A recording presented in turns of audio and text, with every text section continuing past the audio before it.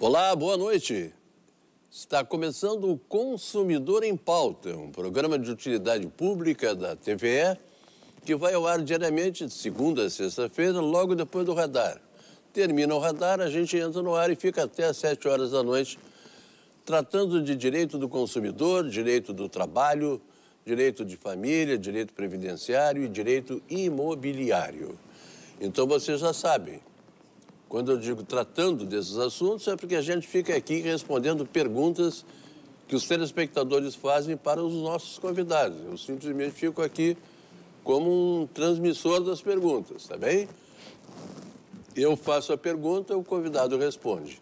Vocês podem mandar perguntas para nós, dúvidas que vocês tiverem sobre qualquer um desses assuntos que eu, que eu falei aqui, para o nosso telefone 3230 1530, o nosso e-mail que é consumidorempauta.tve.com.br, o nosso WhatsApp que é 984516352 ou então podem usar a nossa página no Facebook, que é a página do consumidor.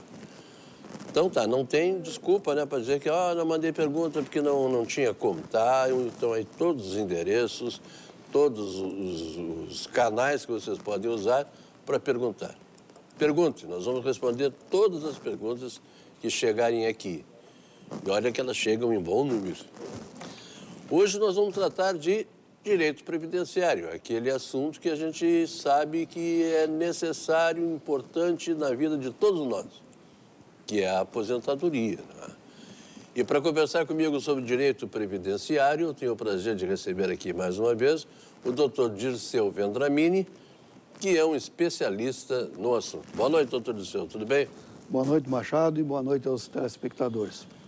Doutor Dirceu vai já trabalha com esse negócio de direito previdenciário há muitos anos, mas tira umas folgas. Agora, por exemplo, semana que vem, ele está nos Estados Unidos para visitar a neta. Tá? Que coisa boa, né? Dá um beijo nela porque ela está linda. Bah, tá linda, tá. Tá, tá né? Tá. Recebi hoje um vídeo dela, assim, é encantadora. maravilhoso. Ah, é. É uma coisa... Neto é uma coisa fantástica. Ah, Não sim. tem coisa melhor na vida do que neto. Eu tenho dois já, um já é homem, a outra é pequenininha, tem, vai fazer sete anos, mas é uma coisa maravilhosa. Ser chamado de vovô é uma coisa fantástica. Doutor Disseu, vamos às perguntas de hoje, então, que são várias. Né? E eu vou começar com a da dona Suzana, que mora aqui em Porto Alegre. A dona Suzana ficou sete meses afastada do trabalho com uma licença de saúde. Agora voltei a trabalhar normalmente. Tenho estabilidade de um ano em função disso. Como encaminhei meu pedido de aposentadoria, ela quer saber se perde essa estabilidade. Suzana, boa noite.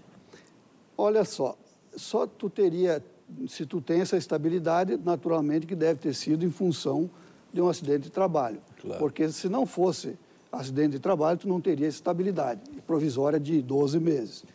Mas, objetivamente, se tu ah, pedir aposentadoria, tu não vai perder a estabilidade. Tu vai poder gozar da estabilidade e, mesmo depois de aposentada, se tu, se tu quiser continuar no trabalho e também, ah, eu estou falando agora depois desses 12 meses, Sim. se tu quiser ficar e também a empresa quiser que tu fique, tu vai poder também ficar, porque a aposentadoria não impede que tu continue trabalhando.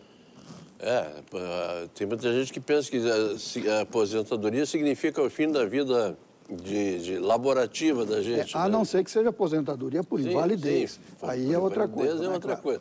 Aposentadoria por idade, por, Por tempo, de contribuição, pode. pode seguir. Eu sigo trabalhando, eu me aposentei por idade, sigo trabalhando. E não vou parar tão cedo.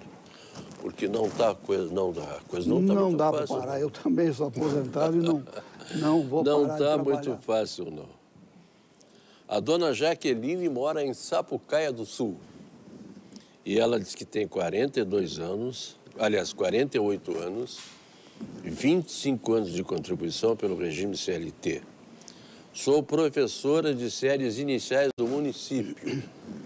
Já posso me aposentar? Vou ter fator previdenciário? São as perguntas que a dona Jaqueline faz. Jaqueline, duas perguntas tu faz. Claro, poder se aposentar, tu já pode, sim. Com 25 anos de tempo de contribuição, o professor ou a, o, o, o professor, a professora né, pode se, se aposentar. É, é, só que agora tem a questão do fator previdenciário. A questão do fator previdenciário, no INSS, eles entendem que incide o fator previdenciário. No judiciário, há uma questão que ainda está em debate. Inclusive, tem um, um, um incidente de resolução de demandas repetitivas, o IRDR, tema número 11, que discute exatamente essa questão: se incide ou não o fator previdenciário nas aposentadorias de professoras e de professores, né, uhum. que, que para pro, pro, pro, as classes iniciais, até o, até o, o, o, o médio. Uhum. Né? E quando, quando resolvido esse IRDR, todo, vai vincular, isso, isso aqui na, na quarta região do TRF, vai vincular todos os juízes federais da quarta região, Rio Grande do Sul, Santa Catarina e Paraná. Então, vai depender dessa solução desse IRDR aqui na nossa região, se vai incidir ou não o fator previdenciário no judiciário. Mas no INSS é certo que eles vão aplicar o, o fator previdenciário. E os 48 anos dela não, não, não impede, nada? Não, não. Tá bom. Tá bom, dona Luciana? Então, aproveite. A dona Jussara mora aqui em Porto Alegre. Ela diz o seguinte: tenho 70 anos, fiquei durante nove anos em benefício no INSS por invalidez, com artrite reumatoide e hepatite. Tenho todos os laudos que provam a incapacidade. No dia 18, fiz nova perícia no INSS e meu pedido de aposentadoria foi negado. Tenho medo de mover uma ação judicial que demore muito. Dona Jussara, eu acho que não vou, não vou, não vou saber lhe dizer se vai demorar muito ou não a sua ação judicial, mas eu acho que o seu caminho vai ter que ser esse. Porque isso depende de uma série de, de, de, fatores. Se demora ou não demora muito. Depende do seu advogado um pouco, depende mais até da, da vara que cai. Se tiver que fazer uma perícia, depende também da agilidade do perito e tal. Então, é, a senhora não vai, penso eu que o melhor para a senhora é procurar um advogado de sua confiança, né? E ingressar com essa ação judicial porque eu acho que é o caminho mais viável para a senhora. Sim, uma pessoa com 70 anos e começa a demorar muito também já é, é, complica, né? Até mesmo porque ela vai é. ganhar prioridade no processo claro. dela pela idade, né? É. Então, dona Luciana, está aí a pergunta. Qualquer dúvida que a senhora tenha, volte a escrever para nós, que com muito prazer nós vamos transmitir ao doutor Disseu ou ao doutor Luiz Gustavo, um dos dois que estiveram aqui no programa, os seus questionamentos para os esclarecimentos que a senhora achar que ainda merece. E a senhora merece todos, diga-se de passagem. O Carlos mora aqui em Porto Alegre. Tenho 50 anos e contribuí muito pouco para a Previdência. Tenho problemas, é, tenho problemas cardíacos, depressão, pressão alta e, além de tudo, cuido da minha avó que tem quase 100 anos o que me impede de trabalhar. Tenho como pleitear algum benefício previdenciário? Bom, Carlos, o benefício previdenciário, ele só tem direito quem é segurado. E quem é segurado? Segurado é aquele que é ou é empregado ou então contribui é, individualmente ou facultativamente. Se ele não contribui facultativamente, nem obrigatoriamente e nem é empregado, ele não é segurado, então ele não tem direito a nenhum benefício previdenciário. O que, que existe é um outro benefício que não é previdenciário, que é o benefício assistencial, que é o LOAS, esse não precisa contribuir. Mas esse é para pessoa muito pobre e que, que não pode é, prover a sua subsistência, nem tê-la provida por sua família. E que, além disso, tenha mais de 65 anos de idade ou seja deficiente. Então, é, o que, que eu diria para o Carlos? Carlos, eu acho que tu deve com, começar a contribuir com 50 anos, quando tu completar 65, tu vai ter 15 anos de contribuição. Tu vai poder se aposentar por idade, mas tu vai ter que contribuir. Uh, a Jennifer mora aqui em Porto Alegre também. Ela pergunta o seguinte: uma pessoa que sempre trabalhou recebendo adicional de insalubridade, que é aposentada por idade, ela botou aqui 62 anos, pode receber somente o correspondente a um salário mínimo por mês? Jennifer, depende de, de quanto era o salário de contribuição. Mas, como você está dizendo aí que tinha insalubridade, já é um indicativo que provavelmente não ia poder ser de, de um salário mínimo. Provavelmente teria que ser um pouco mais. Porque se a, o, salário de contribuição dela, o mínimo que ela ganhava era um salário mínimo. Claro. Né? E mais a insalubridade já dá 30% a mais, ou 20%, ou 40% a mais. E essa é a base de cálculo. Então teria que ser 20%, 30%, 40% a mais. Então, sobre, sobre, o salário so, que ela ganhava. Sobre o salário que ela ganhava. É que essa conta tem que fazer, né? Para dizer. Que fazer, é. teria é. que ter que pegar todo o salário de contribuição desde julho de 94 até a véspera da aposentadoria, fazer, fazer essa média, né? E, as, e às vezes até vai dar mais de 100% dessa média. Porque com 62 anos de idade, dependendo do tempo de contribuição que ela tinha, dependendo da atividade que ela fazia, né? Pois e é. dependendo é. da idade com, com, a, com, com a qual ela se aposentou, vai ter um fator previdenciário positivo e, portanto, vai subir mais ainda o valor da aposentadoria dela. Teria então, que fazer a conta. Essa é. conta. Então, eu vou dar um conselho que os advogados sempre dão aqui no programa. Procure um advogado da sua confiança, vá lá e peça. Ou então o INSS faz esses cálculos, não faz, né? Não faz, não faz. É. Aliás, o INSS está tá difícil, né? Olha, o INSS está tá difícil mesmo. Parece é. que está tá num parece estar desmontando, porque é. eu passei sete horas ontem dentro de uma agência para resolver uma questão muito simples. Se o advogado passa sete horas dentro de uma agência, imagina um contribuinte, que não é ninguém às vezes, né? Bom. Então, dona Jennifer, procure um advogado da sua confiança e que a senhora vai, vai conseguir fazer os cálculos direitinho e ver de repente a senhora está ganhando menos do que merece, do que deve, entra na justiça, entra no INSS e ganha, né? Agora, o telespectador que, que manda essa pergunta aqui, é ele pede para não ser identificado. Então, ele é um anônimo, lá de Cachoeirinha. E ele diz o seguinte: meu filho é comissário de bordo. Já trabalhou em mais de uma companhia aérea, sempre com carteira assinada está com 50 anos e eu gostaria de saber se ele já, se ele não tem direito à aposentadoria especial. Sim, ele tem direito à aposentadoria especial porque o aeronauta, comissário de bordo é um aeronauta, ele, ele tem direito de se aposentar com 25 anos de, de contribuição. Até 28 de 4 de 95 bastava ser, ser aeronauta, né? provar que, era, que, que, que que era aeronauta. De 28 de 4 pra, eh, de 28 de 4 de 95 para cá, também é fácil de provar porque eh, quem trabalha dentro do avião sofre de pressão atmosférica anormal, claro. que prejudica a saúde, que é um item nocivo à saúde. Então, ele, ele pode contar todo o período, de, tanto de, antes de 28 de 4 de 95, como também depois. Então, se ele tem 25 anos de, de atividade, ele pode se aposentar. É, com 50 anos. O especial. Sem, especial. Sem fator previdenciário, sem nada. Que bom. Então, aí o seu anônimo de Cachoeirinha. Diga para o seu filho que se agilize. Doutor, eu vou fazer uma pergunta que chegou agora aqui para nós, mas é uma pergunta é, que eu tenho certeza absoluta que o senhor vai poder responder com toda tranquilidade. É o Alceu, que mora na cidade de Cachoeirinha.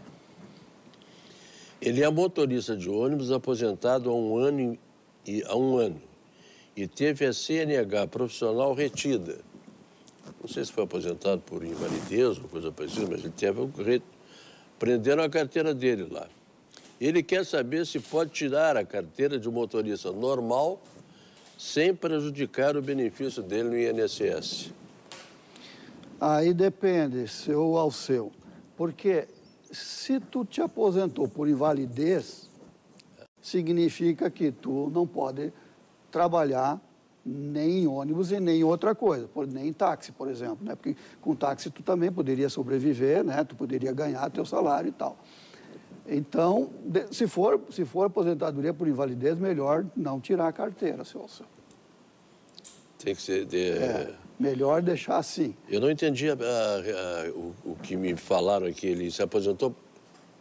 Ele se aposentou por idade. Ah, por idade? Não, por idade ele pode, ele, ele pode até dirigir ônibus. Claro. Ele pode renovar a carteira de é, ônibus, que... ou, ou, ou, uma carteira B, é, ou, né, e claro. pode dirigir automóvel, tranquilo. Táxi, se quiser, Uber. Está me informando aqui a produção do programa que no momento em que deram para autorizar o benefício para ele, tiraram a carteira dele. Então... Não, está irregular isso. É, não está certo isso. É. Não pode tirar a carteira, né? Não, não. Se aposentou por idade. Se aposentou é um, por idade, é um direito, quer continuar trabalhando? É um direito independente do outro, pode é. continuar trabalhando, inclusive. Tá, só o senhor. Procure aí um advogado que o senhor vai, vai dar um jeito na sua vida. A dona Alzira mora em Caçapava do Sul. Desde meus 15 anos trabalhei em atividade rural ajudando meus pais. Só parei aos 28 anos quando casei e vim para Porto Alegre. Trabalhei no escritório como recepcionista durante 25 anos e agora quero me aposentar. Tenho 52 anos e gostaria de me aposentar. O tempo em que trabalhei na atividade rural conta para a aposentadoria e como é que eu faço para comprovar esse tempo? Conta sim, dona Alzira. O tempo rural é, em, em, em regime de economia familiar que é aquele regime que todo mundo trabalha para produzir, para cuidar da roça, para cuidar dos animais, é, ele, pode, ele pode ser contado a partir dos 12 anos, inclusive. Não, não precisa ser dos 15, pode ser dos 12 até. Então, é, como, é que, como é que prova isso aí?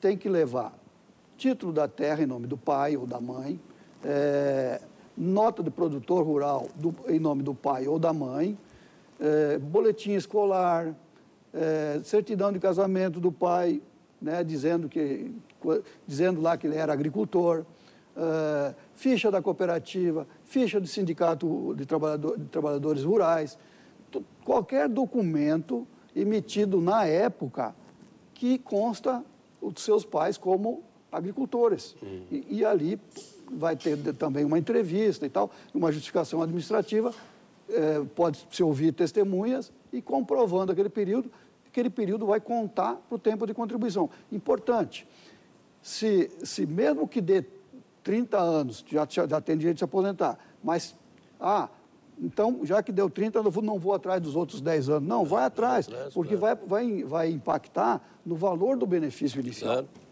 Só de, de, atividade rural ela teve. Ela tem. 13 anos. 13 com 25, 38. É. E se ela contar dos 12, tem mais 3. Ah, pois né? é. Então vai dar 41. O fator ah, previdenciário então dela, bom. se ela quiser que aplique, vai ser positivo. Vai ser positivo. Tá vendo, dona Alzira? Então, vá lá, vá atrás do seu direito. A dona Magda mora aqui em Porto Alegre. Ela disse que a mãe dela contribuiu durante 23 anos para o INSS e tem 58 anos de idade. A Previdência negou dois pedidos de aposentadoria dela e a dona Magda quer saber o que, que eles fazem.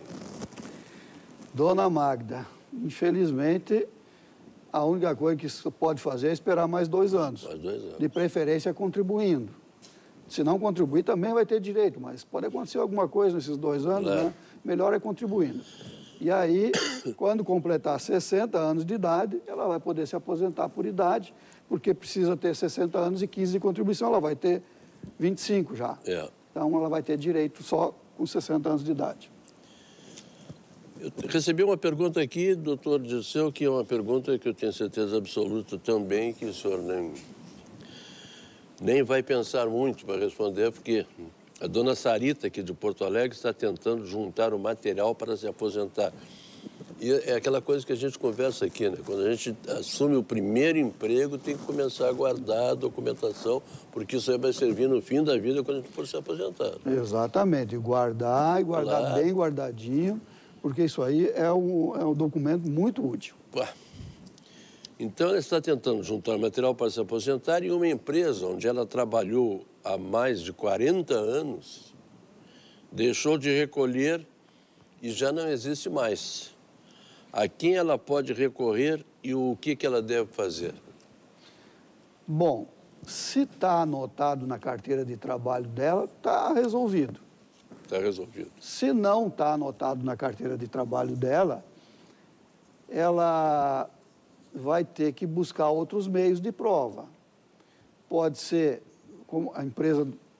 Não existe mais. Se a empresa não existe mais, mas existem os livros, que Claro. antigamente guardavam nos guarda-livros. Guarda-livre. né? Mas s- pode ser que existam lá nos, nos guarda-livros o registro da- do empregado. Porque quando a pessoa ingressa numa empresa, ela é registrada num livro. Então, tirar a cópia da folha que, que ela está registrada. Em último caso, ela pode se achar testemunhas daquela época, né, que trabalharam com ela na- na- nessa empresa, também ela pode tentar, mas aí só judicialmente, tentar provar judicialmente que trabalhou nessa empresa. A dona Sarita já tem bastante idade, está me informando aqui a produção, mas eu só não entendi a história do advogado, como é que é? Ah, sim, pois é, é, quem é que pode fazer isso para ela? Um advogado, porque ela já é uma pessoa de idade, ou um despachante, alguém? Pode Melhor ser, pode ser ela, pode ser um parente dela, pode ser um advogado, pode ser um despachante, Qualquer qualquer, um, porque tem que ir atrás, são coisas que vai atra- é ir atrás de, de documentos, não é verdade, Tá né? certo. Depois, sim, se precisar ingressar em juízo, Aí- aí, ela vai precisar de um advogado, lógico. Então, dona Sarita, pense bem aí o que, que a senhora precisa fazer. Tá, o- a- os caminhos estão dados aí, a senhora daí resolve. Ou vai num, procura um advogado da sua confiança, fala com ele, diz, olha, eu quero me aposentar assim, assim, assim, explica toda a situação para ele. Tá bom? Felicidades para a senhora. O senhor Jurandir mora aqui em Canoas. Ele diz que tem 65 anos, contribuído durante 30 anos para a Previdência e agora estou em auxílio-doença faz dois anos. Gostaria de saber se esse tempo conta para a aposentadoria. Jurandir, esses dois anos que tu esteve em benefício por incapacidade, ele só conta se tiver pelo menos uma contribuição posterior à cessação do benefício. Mas tu já tem 65 anos de idade e 30 de contribuição. Tu nem precisaria desses dois anos. Então, tu pode encaminhar teu pedido de aposentadoria com ou sem esses dois anos. Só não sei se esses dois anos é, considerando ou não considerando, se vai dar muito a diferença, mas eu acredito que a diferença vai ser mínima né? na, no- no- no- na renda mensal inicial. Então, agora, seria bom tu consultar alguém, né, especialista na área, pra, só, só para responder essa questão. Será que esses dois anos vai influenciar muito? Vale a pena ou não? Vale a pena ir atrás? Porque também tu pode, tu, tu já, direito tu já tem, porque tu tem 65, bastaria ter 15, tu tem 30 anos de contribuição. É. Então, são dois anos que aí é, a decisão é do Jurandir, né, doutor Dirceu? Ele vai saber se, se pode, se não pode, vai procurar um advogado especialista da área. Ah, eu tenho mais uma pergunta ainda aqui para fazer para o senhor, doutor Dirceu. E essa pergunta foi encaminhada pelo Reginaldo. Ele mora aqui em Porto Alegre. Gostaria de ser informado quem pode ser segurado facultativo da Previdência e que direitos esse segurado tem. Olha, Reginaldo, o artigo 13 da Lei 8.213 diz o seguinte, que pode ser segurado facultativo o maior de 14 anos que não se enquadra no artigo 11. O artigo 11 enumera, ah, olha, eu acho que umas 15 categorias ou 20 de- de, pessoas que, que são ah, contribuintes obrigatórios. Mas os mais comuns são empregado, aquele que presta serviço para uma empresa ou para outro particular, né? pastores, padres, é, é, mandato eletivo, vereador, deputado. ah, olha, é uma gama muito grande. Então, se não está no artigo 11, pode ser facultativo. Mas, normalmente, os facultativos são quais? São quem vive de rendas, por exemplo, ou dividendos. O que, que são rendas? Né? Dividendos, juros, aluguéis, Ou, ou então, que vive, é, a dona de casa também pode ser facultativa, o estudante. Né? Ou então, no caso, uma pessoa que cuida de um, idoso, de um parente né, em casa e que tem sua renda lá dada por, por, por esse parente, ele pode também ser facultativo. E ele pergunta o seguinte: ah, que direitos, direitos né? tem, né? Os direitos são os mesmos do obrigatório, exceto o auxílio acidente, que ele não tem direito. E também o período de graça, que é, é reduzido. O período de graça, é, quando o sujeito é, é, é, é segurado obrigatório, ele parou de contribuir ou perdeu o emprego, qualquer coisa assim, ele tem um ano, em regra geral, um ano, porque tem casos que, tá do, que tem 24 meses e outros de 36 até. Mas, regra geral, um ano de período de graça. Já o facultativo só tem seis meses uhum. de período de graça. Esses são os dois direitos, um direito reduzido e outro que não tem, que é o auxílio acidente. Tá bom. Doutor Dirceu Vendramini, tive um prazer muito grande em conversar com o senhor aqui no programa e me resta desejar uma boa viagem, dar um beijo grande na neta lá nos Estados Unidos, que, que esteja tudo bem, aproveite bem a viagem e descanse bem nesses dias que estiver lá também. Opa, obrigado, Machado. E até a volta então, né? Até a volta. Vamos ficar uns dois, duas sextas-feiras aqui, senhor doutor Disseu. Mas, Mas bem teremos o doutor, doutor, doutor, o doutor Luiz Gustavo estará aqui conosco. Vocês ficam agora com o programa Panorama. Eu volto na segunda-feira tratando de direito do consumidor. Na terça-feira é feriado, dia 1 de maio, dia do trabalho. Nós não trabalhamos. Então, não tem programa terça-feira que vem. Então, uma segunda-feira, seis e meia, estou aqui para tratar de direito do consumidor. A todos vocês, muito obrigado, muito boa noite, um bom final de semana e até a próxima.